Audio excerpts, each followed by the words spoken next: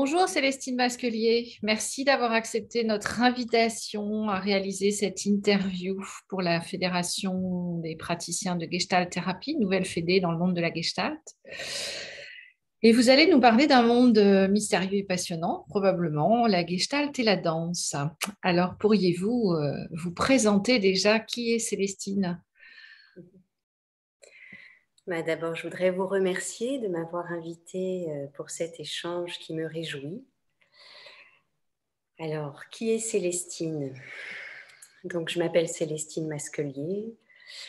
Je suis euh, gestalt thérapeute installée à Versailles. Je suis euh, formatrice dans différentes écoles, en particulier à l'IFFP et à Gestalt Plus et un petit peu à Limoges. Euh, je suis également en formation euh, pour devenir superviseur normalement, si tout va bien, en 2023.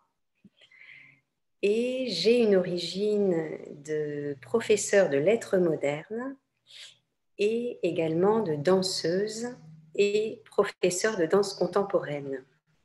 Quel parcours Énorme Alors pour vous, le monde de la gestalt, euh, vous êtes tombée dedans toute petite. Euh, euh, comment comment c'est pour vous le monde de la gestalt et qu'est-ce qui vous passionne dans ce monde-là? Alors oui, effectivement, vous commencez par l'origine. Oui, moi je suis née dans ce milieu-là, j'y ai grandi, donc ça a été mon élément naturel.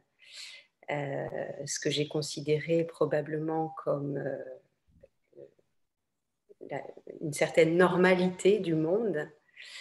Et donc j'ai plutôt été très surprise quand je suis sortie de ce monde-là et que je suis allée arpenter euh, notamment le monde de la danse et le monde de, de l'enseignement des lettres modernes. Je suis sortie du monde de la gestalt et c'est le monde étranger qui m'a paru bien étrange, bien exotique. D'accord. Qu'est-ce qui vous passionne dans la gestalt? Je crois que ce qui me passionne dans la gestalt, pour moi, le cœur, c'est une question très vaste, hein. mais pour moi, c'est vraiment la relation.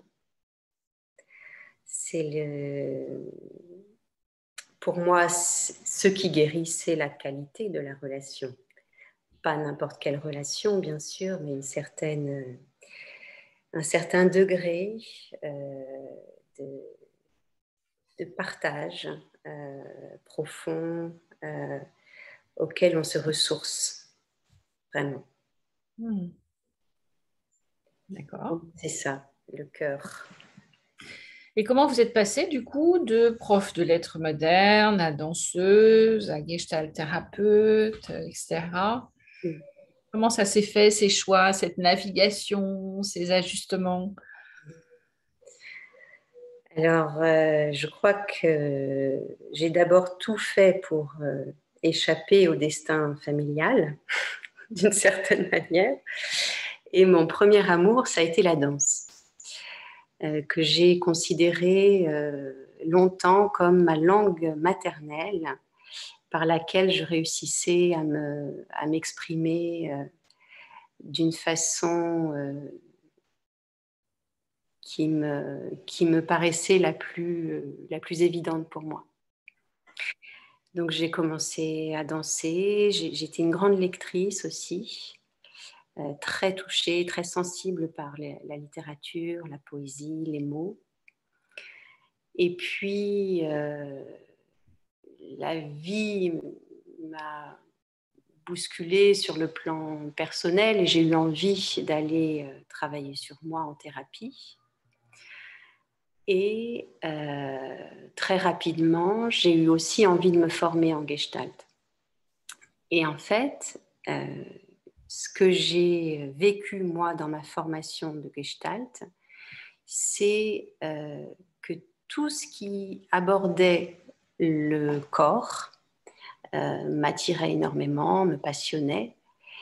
Et quand j'observais euh, comment l'awareness permettait à partir de gestes extrêmement simples, de déployer un, horizon de, recherche extrêmement riche, hein, de perception, de prise de conscience extrêmement riche.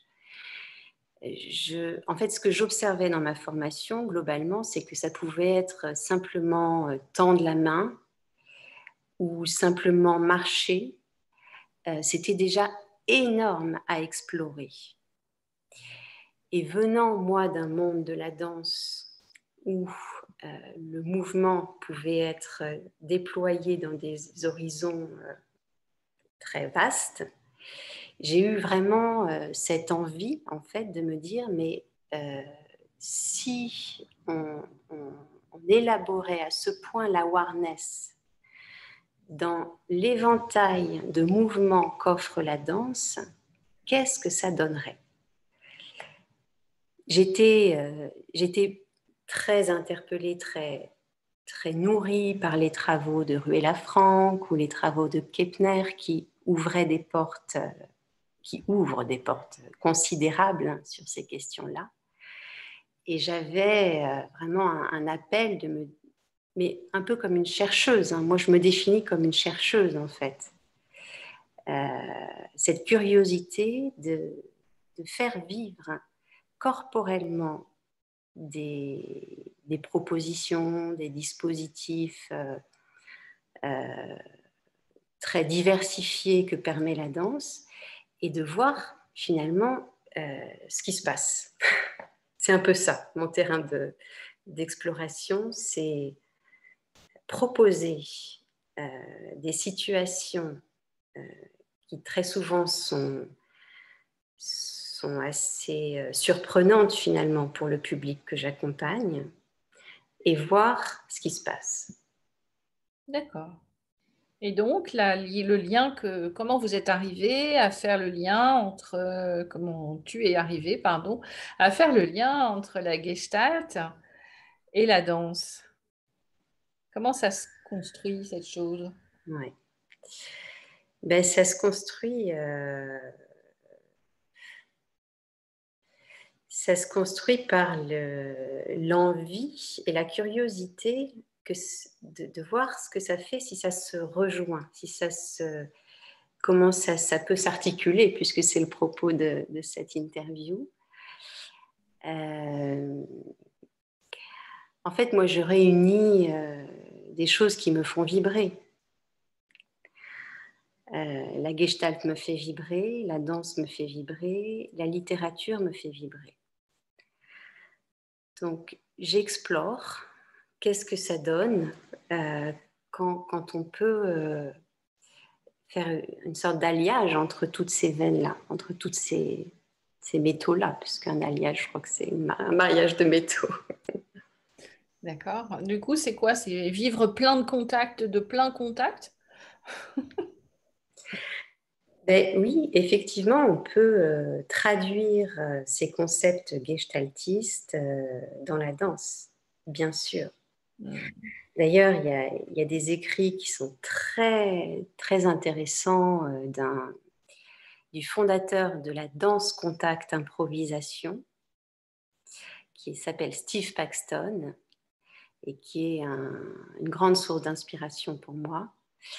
Et quand on lit les écrits de Steve Paxton sur la danse contact improvisation, c'est assez troublant comme euh, le vocabulaire est très proche de ce qu'on trouve dans des écrits de théorie gestaltiste euh, fondateurs. On parle de contact, on parle de, co-création, on parle de, cycle aussi dans la danse. Et, presque on pourrait parler de mode moyen. Il y a vraiment quelque chose euh, qui se rejoint mmh. dans les deux. Et avec une utilisation, je pourrais imaginer de la fonction ça, par exemple, très importante. Absolument, absolument. La danse euh, est un lieu privilégié où on peut euh, aller visiter des régions assez impulsives, assez archaïques, assez émotionnelles. Hmm. retrouver le, corps reptilien, la, motricité serpentine. Enfin, on peut jouer vraiment avec ce genre d'énergie. Oui. Et du coup, quand vous avez décidé de mêler les deux, donc du coup, qu'est-ce qui se passe alors? Qu'est-ce qui se passe? Vous créez une théorie, une pratique, euh, vous y allez en cherchant, vous élaborez, comment c'est mm. Travailler euh, sur la gestalt et la danse En fait, j'aime bien, euh, j'aime beaucoup considérer que les deux se rejoignent de façon très naturel.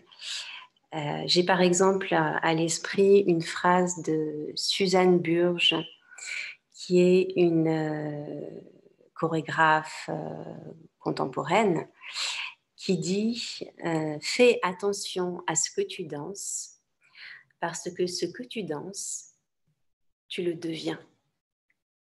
Hmm. J'aime énormément cette phrase. Je ne sais pas si, si, elle te touche comme moi. Oui, elle, est très profonde. Elle a plein de degrés, cette phrase.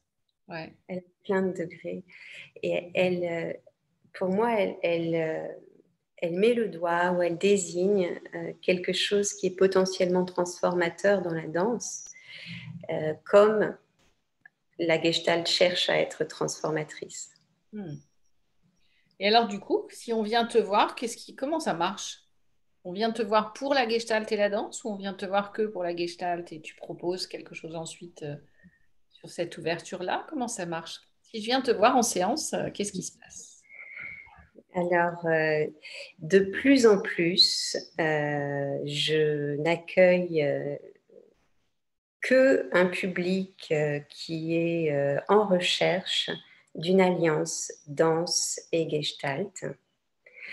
Et donc, euh, c'est quelque chose que je, présente d'emblée et qui sélectionne un petit peu. C'est-à-dire, euh, moi, c'est vraiment mon orientation, mon choix d'aller dans cette direction-là. Et je demande aux personnes euh, qui souhaitent que je les accompagne qu'elles travaillent à la fois en individuel de manière assez classique, et en groupe avec euh, toute cette dimension euh, qui, qui est devenue pour moi euh, assez incontournable. D'accord. Donc travailler sur cette alliance-là, sur ce tricotage, c'est du coup accepter ce travail individuel plus le travail autour de l'expression de danse, je ne sais pas trop comment je pourrais le qualifier, en groupe. C'est ça? Oui, c'est ça. D'accord. Et du coup, qui est-ce que tu accueilles? Qui est-ce qui vient vers ça? Il y a tous les âges, tous les publics ou ça, ça fait entonnoir? Oh, Je suppose que ça, doit faire entonnoir euh, à un certain endroit, parce que je pense que ça ne concerne pas tout le monde, cet appel euh, du corps et de la danse. Mhm. Mais ce que j'observe, c'est que les gens qui arrivent dans mon cabinet, en général, ils savent déjà euh, que je travaille comme ça et c'est pour ça qu'ils veulent me voir. D'accord. Mm. Donc ça commence à devenir quelque chose de te construit, qui appelle, qui se fait connaître, qui rayonne. D'accord. Et est-ce que tu formes des gens mm. pour cette approche-là? Je ris parce que ça, ça, me touche, euh, cette question, parce qu'elle est de plus en plus récurrente. Euh, là, je viens de terminer un stage euh, pas plus tard qu'hier soir et j'avais plusieurs demandes de de thérapeutes qui, me font un peu des appels du pied dans ce sens.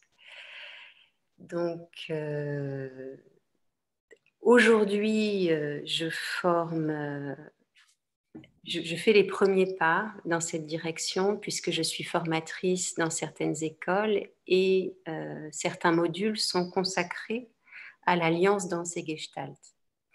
Donc, j'ai déjà vraiment tout, élaborer euh, une certaine réflexion autour de, de l'intérêt et du comment euh, sur le plan théorique et mhm. puis sur le plan pratique, vraiment. Et ça, je pense que c'est quelque chose que je vais être amenée à développer dans les années qui viennent euh, pour étayer un peu un contenu plus structuré, plus développé surtout. Mhm. Mais oui, je, vais y venir. Je vais y venir. Mais j'ai envie d'écrire déjà. Vous avez posé cette question-là. Est-ce que tu as déjà écrit, publié? Non. Euh, publié, non. Euh, écrit, je produis euh, pas mal en fait de cours pour l'instant hein, en tant que formatrice autour de cette question-là. Et je pense que c'est une première étape euh, sur laquelle je vais pouvoir m'appuyer pour un jour publier euh, un livre euh, autour de cette recherche que je creuse depuis dix ans déjà. Mmh. D'accord. Et est-ce que du coup, pour faire cette articulation entre gestalt et danse, il y a nécessité d'être danseur? Mmh. Merci de me poser cette question. elle est essentielle. Euh, la réponse est non. Vraiment non, non, non. Euh, tous les corps, tous les états de corps sont les bienvenus. Hmm. J'ai toutes les générations. Euh, j'ai parfois des, gens qui sont en convalescence pour des maladies graves. Je, je peux faire danser des personnes en fauteuil roulant. Je peux faire danser euh, des, vieilles personnes euh, et je fais aussi danser des danseurs professionnels et avec le même, euh, le même plaisir. Mm. Et du coup, les mêmes, les mêmes nourritures pour chacun dans cette expression-là. le, système fonctionne, je ne sais pas comment dire ça. En tout cas, le contact se fait, qu'on soit danseur ou pas danseur, quel que soit l'âge, la forme il y a quelque chose qui est à sortir et à exprimer à travers ça. Mais je, souvent, j'aime bien dire euh, qu'il y a un seul prérequis, c'est d'avoir un corps. Ensuite, euh, tous les corps ont leurs limites mm-hmm. et leurs possibilités, et plus ou moins étendues, et on, on se débrouille avec ça. Hmm. Dans cette pratique euh, que, tu as depuis dix ans, enfin sur laquelle en tout cas tu réfléchis depuis dix ans, euh, comment la gestalt te, ça te sert de barre de pole dance ça te, Comment tu... de barre de pole dance, euh, c'est une image intéressante qui peut, pourquoi pas, qui nous amène là dans un univers de cabaret euh, que, je peux explorer parfois. Ça fait partie de, l'éventail des possibles. Euh,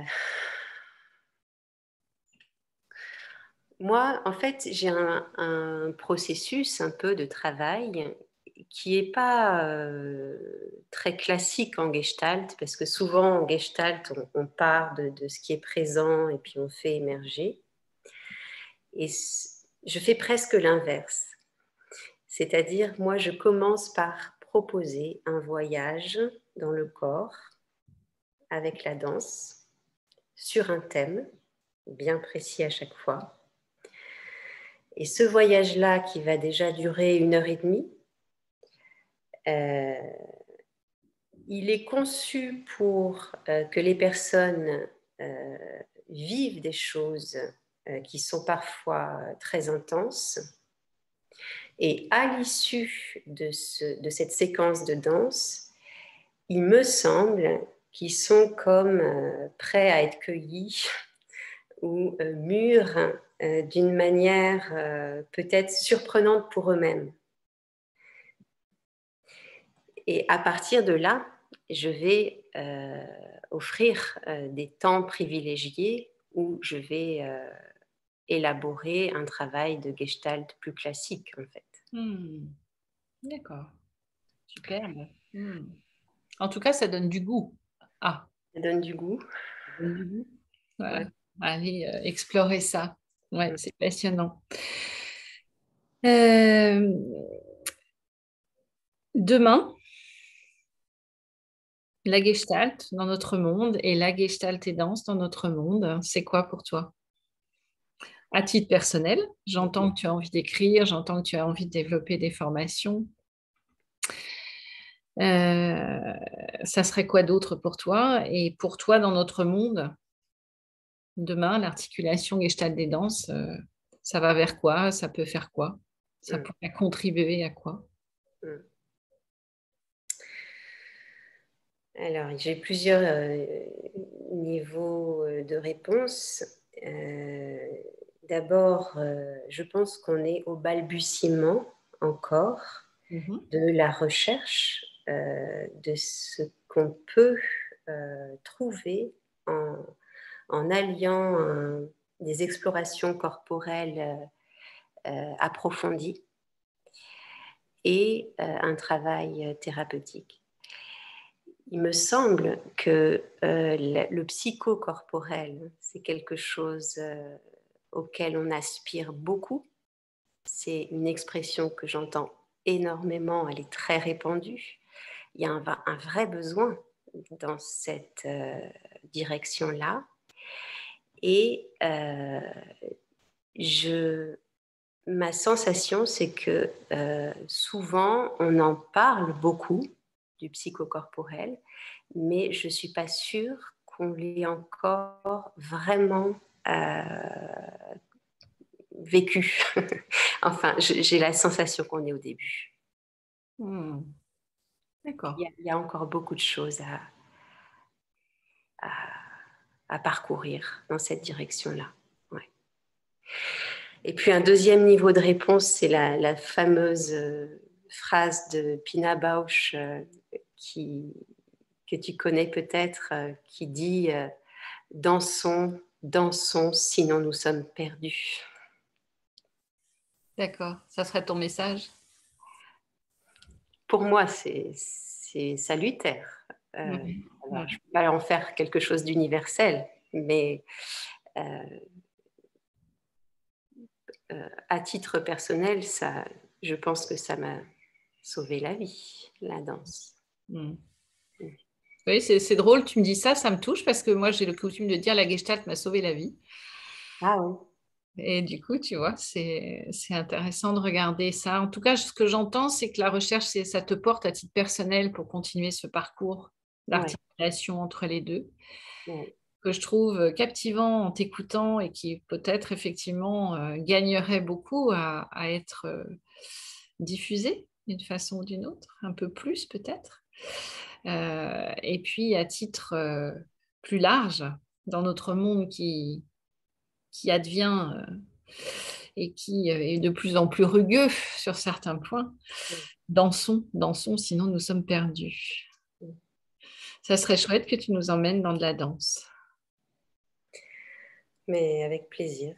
Oui, vraiment. Un autre mot? Ou est-ce que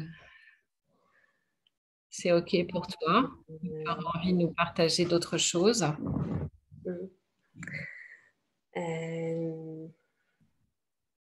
peut-être, je sais pas, je, me dis que ça, pourrait être euh, parlant euh, pour des personnes qui, pour qui ça reste un peu abstrait, que je donne un ou deux exemples très concrets de, propositions. J'ai Avec plaisir. Ouais. Par exemple, il y, a, une proposition qui est une des toutes premières qui m'était venue euh, dans les, premiers ateliers euh, il y a bien longtemps, euh, qui s'appelle Les bougies et les sentinelles. Et cette proposition-là, je la fais toujours aujourd'hui parce que elle produit quelque chose qui est souvent fort en fait. Mmh et ça consiste euh, à ce que euh, la moitié du groupe euh, prend le rôle d'une bougie, une bougie qui serait caressée par la flamme. Donc si on imagine un morceau de cire, si je suis un morceau de cire et que la flamme s'approche de moi, eh bien je vais fondre. Donc mon, mon axe va progressivement euh, se,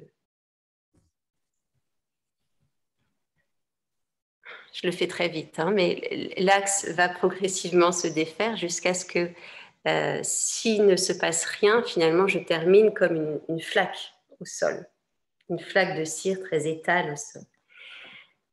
Les morceaux de bougie sont comme ça euh, dispersés dans l'espace. Et l'autre moitié du groupe, je les appelle les sentinelles. Ce sont des personnes qui vont circuler dans l'espace et qui vont avoir la possibilité d'intervenir à certains moments pour reconstruire la verticalité de la bougie. Éventuellement, ils vont pouvoir le reconstruire avec leurs mains, mais il est tout à fait envisageable aussi qu'ils interviennent avec une épaule ou avec une tête, avec le torse, etc. Euh, une, ça dure une dizaine de minutes. Mm-hmm.